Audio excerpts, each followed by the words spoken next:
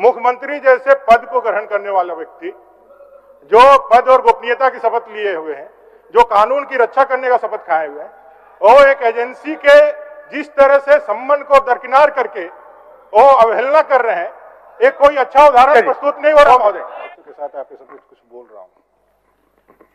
एक तो यह है कि अभी हम लोग अल्पसूचित प्रश्न ले रहे हैं। जी। तो अभी गिरी रक्षा वाहिनी का प्रश्न है। जो पहला है।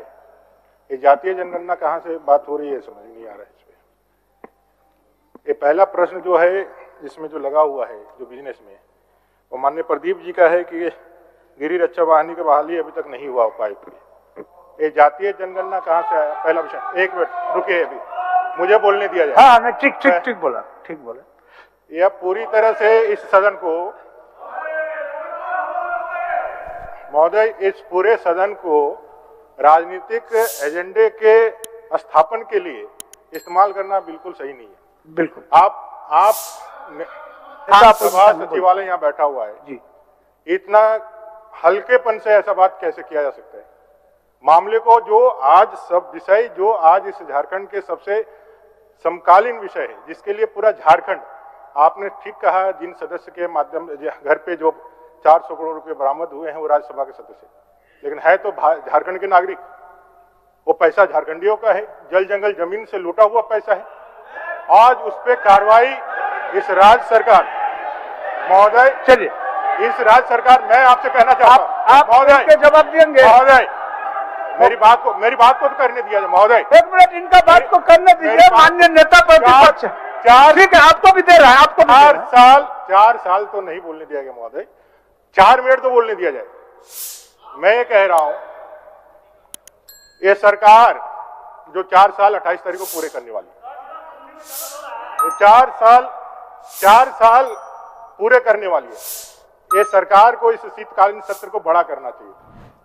अपने चार साल की उपलब्धियों को, अपने अचीवमेंट को जनता के सामने इस सदन को माध्यम बना करके रखना चाहिए था। लेकिन इस सरकार ने इस सदन को और छोटा कर दिया वो तमाम बहसों से, तमाम प्रश्न उत्तर से, तमाम लोक हित के जो झारखंड के लिए असंभावी है, उससे भाग रही है।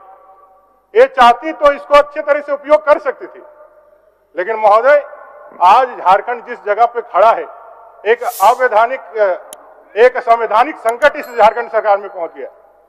ये संवैधानिक संकट है महोदय। कोई कानून व्यवस्था का संधारण नहीं हो रहा है। मुख्यमंत्री जैसे पद को ग्रहण करने वाला व्यक्ति जो पद और गोपनीयता की शपथ लिए हुए हैं जो कानून की रक्षा करने का शपथ खाए हुए हैं वो एक एजेंसी के जिस तरह से संबंध को दरकिनार करके वो अवहेलना कर रहे हैं एक कोई अच्छा उदाहरण प्रस्तुत नहीं हो रहा महोदय। बोलने दिया मैंने सुन लीजिए महोदय।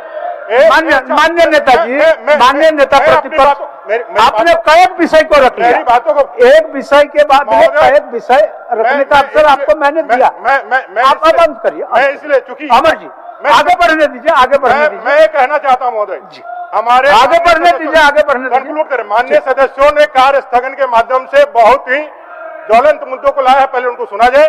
और ठीक है उसको सुनेंगे। सरकार जो जो अवैधानिक स्थिति है संवैधानिक जो परिस्थितियाँ यहाँ खड़ी हुई है जहाँ लॉ एंड ऑर्डर का सिचुएशन खड़ा हुआ है जहाँ मुख्यमंत्री जी के माध्यम से लोगों को अपील किया जा रहा है कि आप हर चीज़ के लिए तैयार रहें ये जो अराजकता का स्थिति जो फैला हुआ है इसके लिए सरकार से हम ये चाहते हैं कि बहस कराएँ सेकंड पाली खाली है महोदय सरकार ये बहस कराए क्यों नहीं सरकार को इस्तीफा देना चाहिए इस पे बहस कराए हम लोग भी बहस के तैयार है और इसको क्यों नहीं इस्तीफा देना चाहिए महोदय और हो इसको क्लियर करिए महोदय। कि भाई विपक्ष के नेता जिस आरोपों को यहाँ पर उठाने की काम किया है मैं कहते हैं कि सत्ता पद जो है, यहाँ पर राजनीतिकरण कर रहे हैं। मैं शत प्रतिशत कहते हैं, जो विपक्ष के यहाँ पर जो बैठे हैं, वो राजनीति करते हैं विधानसभा में आकर।